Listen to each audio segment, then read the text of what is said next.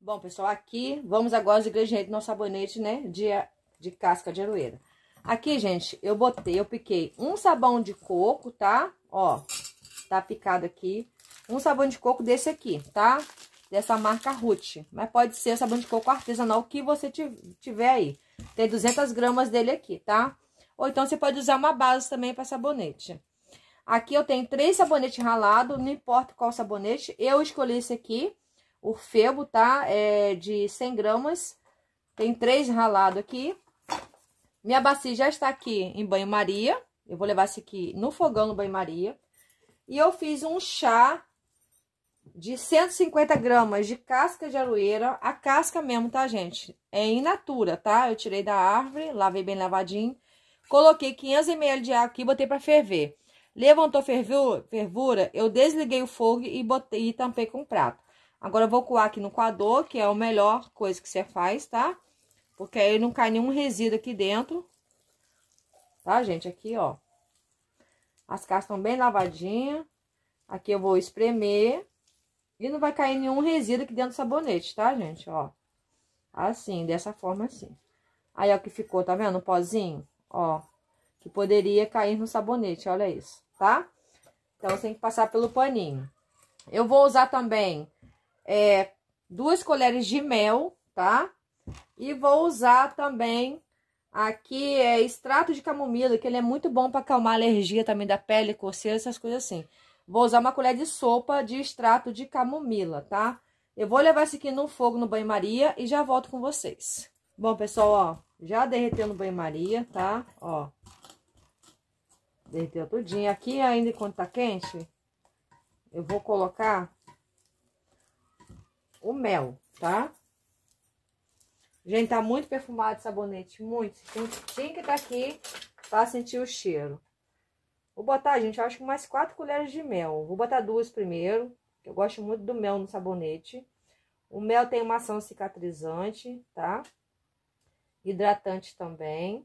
Se você não quiser colocar o mel, pode colocar a glicerina no lugar do mel.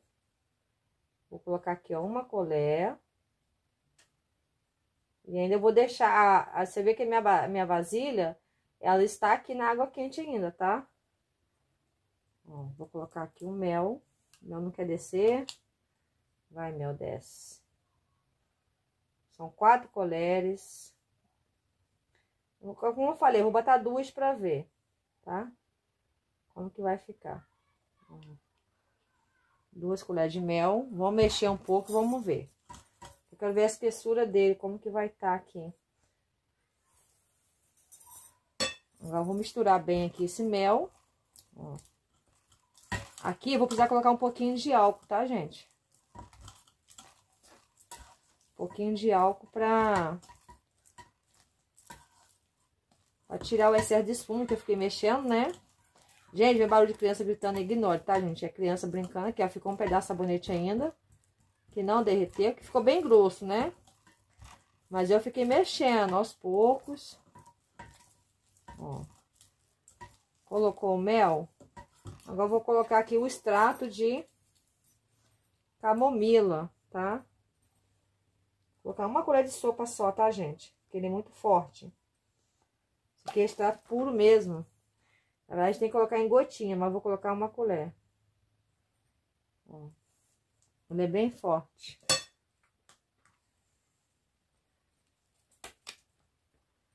Fechar aqui. Vou misturar aqui um pouco. Aqui eu vou colocar 100 ml de álcool 70, tá? Pode ser o de cereais, melhor ainda. Mas como eu não tenho cereais aqui no momento, eu vou colocar o 70, tá, gente? Ó. Vou estampar esse mel aqui. Vou colocar aqui 70 não, 92, que é o que eu tenho aqui. O 70 agora, eu acho que acabou meu álcool 70. Vou colocar 100 ml aqui de óculos 70, ó, 100 ml. Ó, vou misturar bem aqui, tá?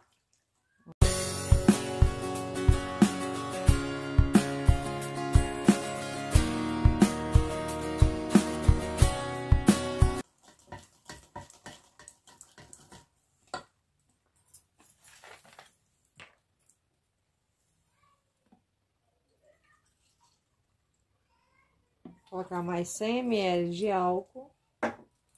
E vou mexer novamente, tá? Tem assim, aos poucos.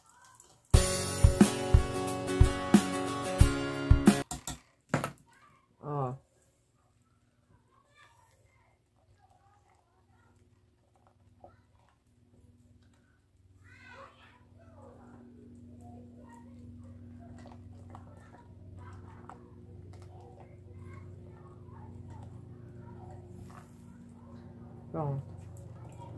Vou pegar as forminhas agora e já volto. Bom, pessoal, ó. Agora aqui, eu vou colocar aqui nessa forminha aqui, tá? Vamos tirar aqui do banho-maria.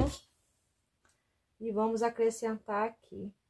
Pode ser a forminha que você tiver, tá, gente? Eu tô usando essa, porque eu tenho aqui, mas pode ser a que você tiver aí.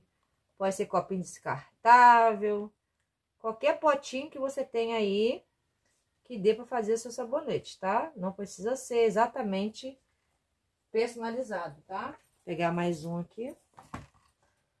E vamos colocar eles aqui. Ó.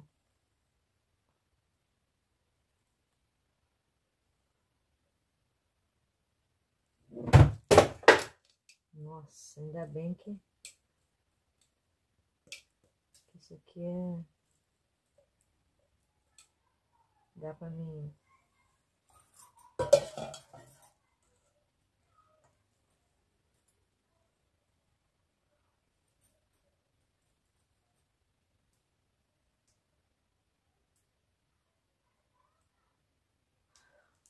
Prontinho, gente. Aqui você pode borrifar álcool em cima, caso vocês queiram, tá?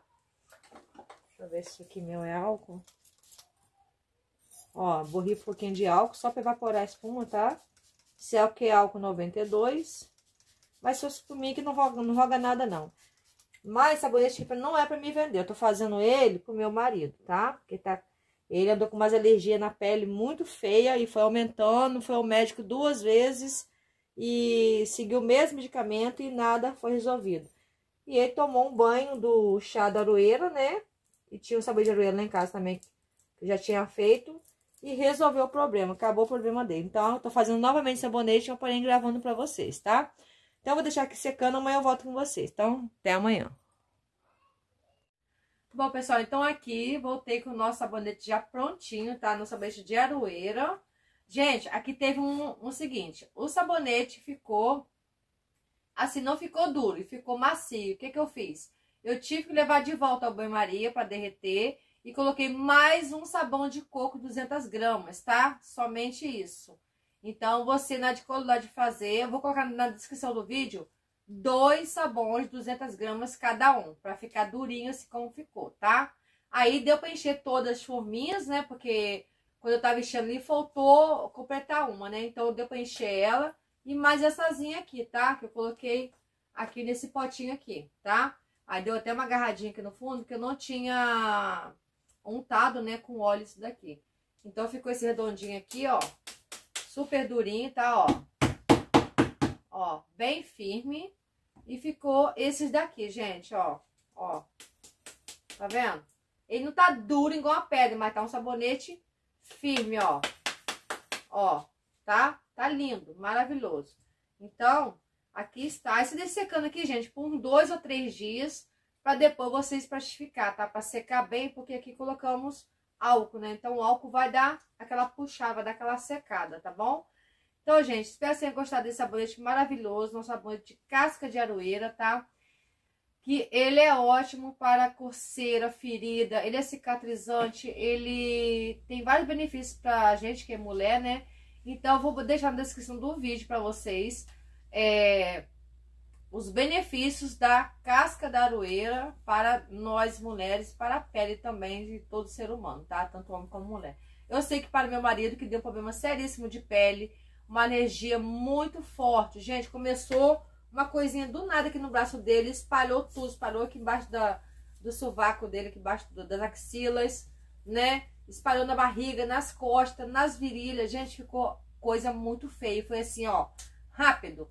Aí fomos na emergência duas ou três vezes, passaram as mesmas medicações, passaram aquela aquele remédio vermectina, ele tomou vermectina, usamos uma pomadinha pequenininha, cara, muito cara, 30, não, 45 reais, um, um tubinho assim de pomada, ela é um antibiótico, foi usado do, na primeira vez, foi usado a segunda vez, tomou Fenegan também, fez exame de sangue, pra, a gente desconfiou que podia ser escarbiose, mas não era escarbiose, tá?